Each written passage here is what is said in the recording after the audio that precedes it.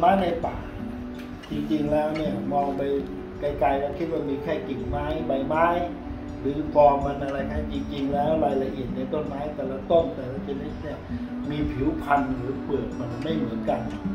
นะฮะแล้วก็อีกอย่างหนึ่งความสวยงามมันมีเกินกว่าที่คิดว่าเออมันสวยได้จริง ๆ เพราะผิวพรรณไม่เหมือนกัน สีก็ไม่เหมือนกัน รายละเอียดบางทีมันมองเข้าไปใกล้ๆขยายเข้าไปใกล้ จะเห็นเสน่ห์ของมันโอ้โหมันธรรมชาติ สร้างสรรค์มาจริง ๆเลย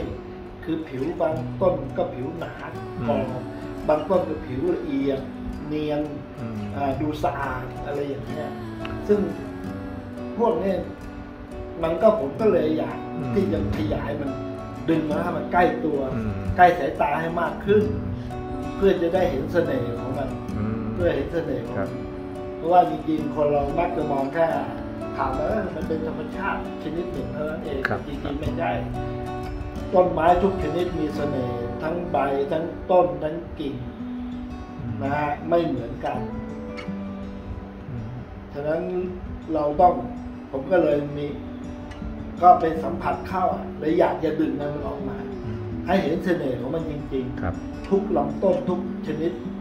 พันไม้ทุกชนิดเลย คือมีความคิดแม้ว่ากระทั่งใบ คือมีความคิดว่าอยากให้ประชาชนหรือทุกคนอะรักป่าใช่ให้มากใช่ๆใช่นะฮะแล้วก็หวงแหน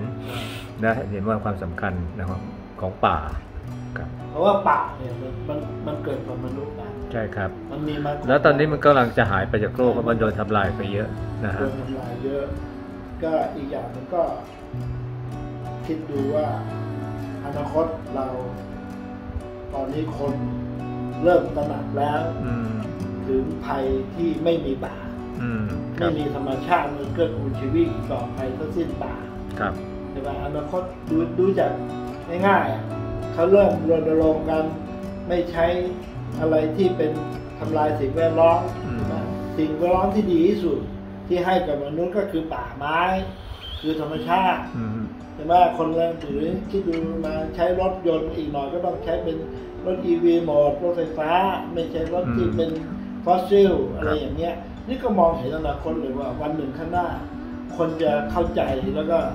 จะหวงแหนอืมป่าครับก็ถ้าคุณรู้จักหวงแหนป่าก็คือคุณกำลังหวงแหนชีวิตตัวคุณเองนั่นแหละอย่าง PM 2.5ก็เกิดเพราะการทำลายป่า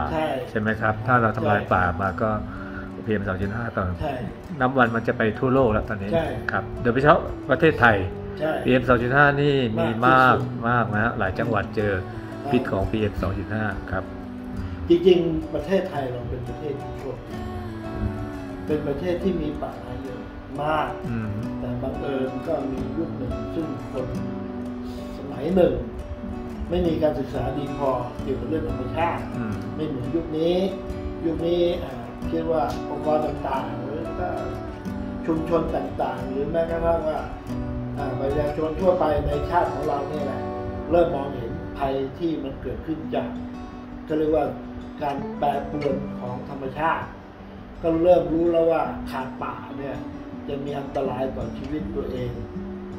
แล้วมันเป็นความจริงอย่างยิ่งเลยนะฮะคนเราคิดดูการทำลายป่าเนี่ยมันใช้เวลาแค่หนึ่งวัน มันก็สามารถทำลายได้เป็นร้อยร้อยๆไร่ครับแต่ถ้าหากว่า ป่าที่จะเกิดมาร้อยร้อยๆไร่เนี่ยมันอาจจะใช้เวลานับพันปีอืมเป็นร้อยปีพันปี